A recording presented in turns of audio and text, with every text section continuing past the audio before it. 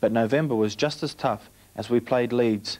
Unfortunately, ex-Wigan captain Ellery Hanley was injured and missed out on this fine win by the Loiners. Gets it onto Schofield. Schofield, little overhead kick. Ford chasing it. He could well win this chase. Ford he got. He should be there. And there's the opening try to Ford. Set up by Schofield. Comes on to Gregory.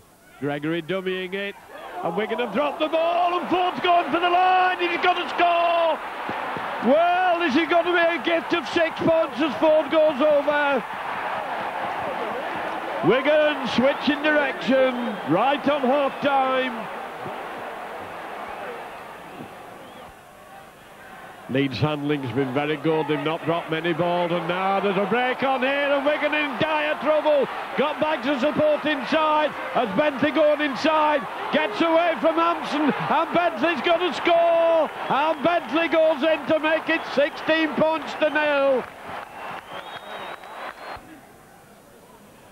Drop goal from Schofield. And it's there.